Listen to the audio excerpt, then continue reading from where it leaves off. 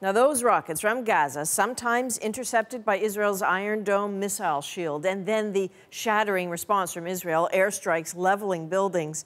The results on the ground this weekend frightening and fatal for people on both sides. More than 20 Palestinians are dead, at least four Israelis are. And as Paul Hunter tells us, this brought a region to the brink.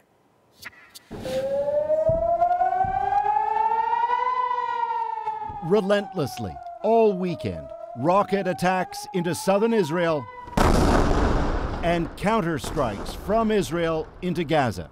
All of it painfully violent and depressingly familiar.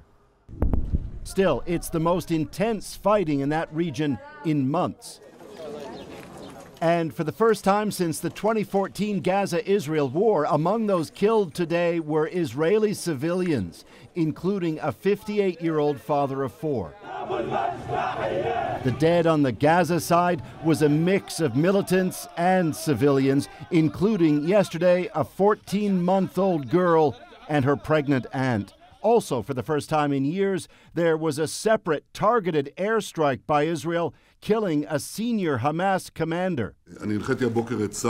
Massive strikes will continue, said Israeli Prime Minister Benjamin Netanyahu today. Forces at the Gaza border, he added, will be stepped up. This latest fighting follows Palestinian complaints Israel wasn't acting quickly enough to ease its economic blockade on Gaza. On Friday, gunfire from Gaza wounded two Israeli soldiers, and the violence escalated from that.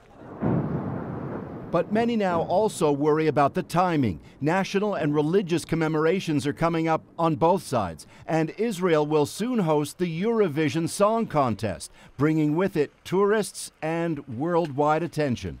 But some underline the key to what happens next may well be how Israel now responds to its civilians being killed pressures on the Israeli government to intensify its reply. Which is escalate the airstrikes and, more worrying, threaten surgical ground assaults across the border. Uh, once that happens, uh, you could have pointless fighting on both sides that will go on for weeks. But tonight, even as Israeli tanks were spotted heading toward the Gaza border, reports of a possible ceasefire agreement Details are scarce, but potentially it's a way out for all sides. Paul Hunter, CBC News, Washington.